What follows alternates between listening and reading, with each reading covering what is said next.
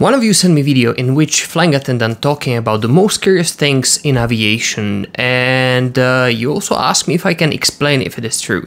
First topic about which she talking about is uh, oxygen for the passengers. But first let's take a look on the video. If you're scared of flying, don't watch this video. Here are some terrifying things I've learned as a flight attendant that have actually made my fear of flying even worse. Number one, you know those oxygen masks that are right above your seats? Yeah, those only have 12 minutes of oxygen in them. And as if that wasn't terrifying enough, I've talked to the maintenance people and they even say that those things have never been checked, so who even knows how good that oxygen even is in that tank?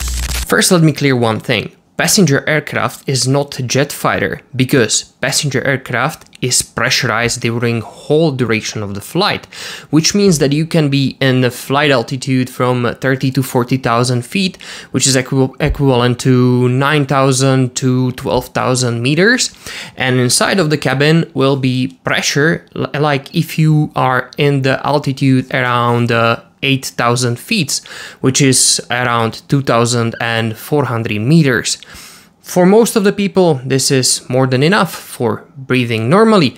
Compared to jet fighter, the cabin is not pressurized that much as passenger aircraft and that's why they need to wear oxygen mask during whole flight because uh, oxygen in such a height is not sufficient for pilot to breathe normally.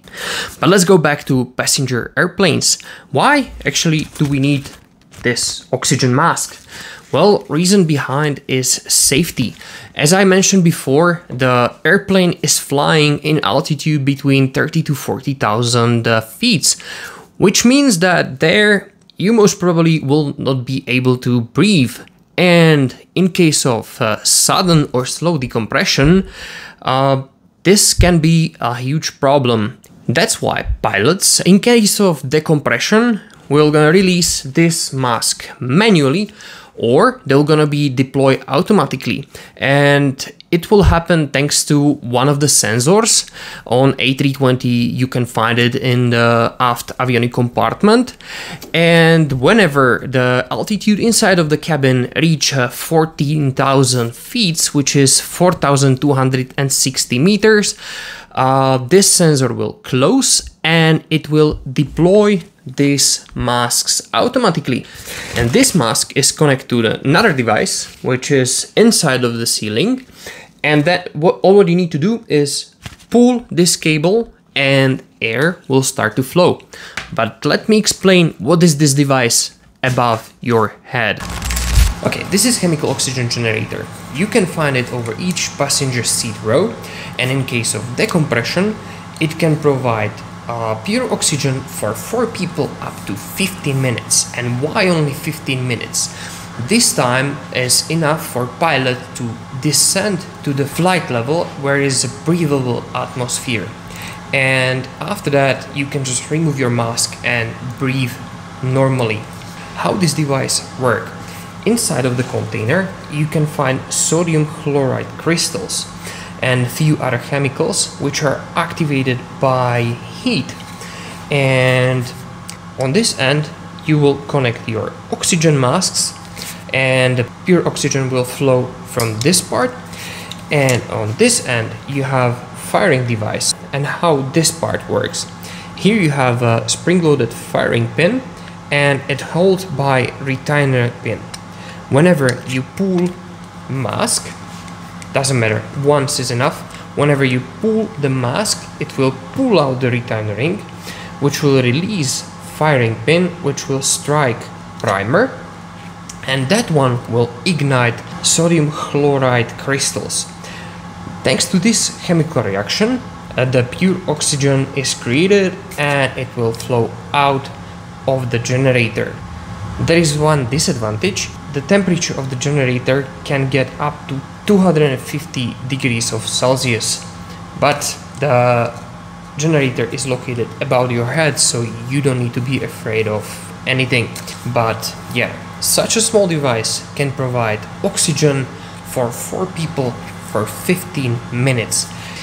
The next point is why they are never inspected because once you activate the chemical reaction there is no chance to stop it.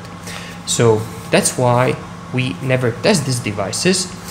but they have expiry date like many other things. So every certain period of time we'll just remove them and we'll install the new ones. So we really pay attention to safety. Different approach was chosen on 787. Here we can find uh, pressurized cylinders over each passenger row. These cylinders are pressurized to 3000 psi and we can find them in uh, three different sizes. The size of the cylinder depends of the amount of people which it can serve, which means that it can be from 1 up to 6 people. And another difference is that this whole system is controlled and operated electrically. Now let's take a look on oxygen mask itself. As we discussed, this end is connected to the generator and uh, this bag, what is it good for? Well, since oxygen generator is constantly providing fresh air and we breathe in and breathe out, the oxygen need to be stored somewhere. And for that reason, we have here that bag.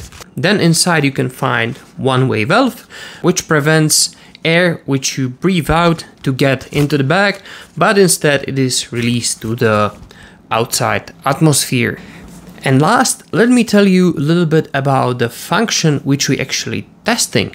We as engineers are testing the manual release function of the all these masks, which as we discussed before, you can find over each passenger row, but of course they're located inside of the toilet and of course above the flying attendant seats because they of course want to breathe as well. This function is uh, periodically tested and uh, for that we need to set all oxygen containers into test mode. Otherwise, after deployment, you will get something what we call rubber jungle and we want to avoid that. So that's why we are setting the containers into the test mode, which will prevent complete deployment of the door, but uh, it will show us that each and every container has been open. After manual deployment, you can also hear synthetic voice, which will constantly repeat the instruction regarding the oxygen system. This was more or less all about passenger and flying attendant oxygen system. If you want to know more about cockpit oxygen system, click on the link which is uh, up here or in the description below where you find the video which I made before this one. Uh, if you have any questions regarding topic, please uh, write them down in the comments below.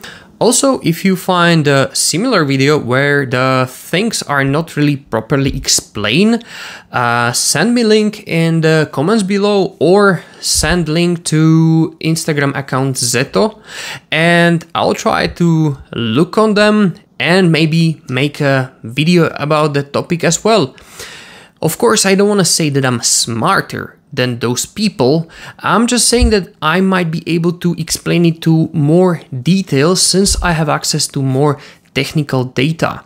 Well, that's all from my side. My name is Tomáš, this was Aircraft Maintenance with Zeto, and I'll see you on next one. Bye.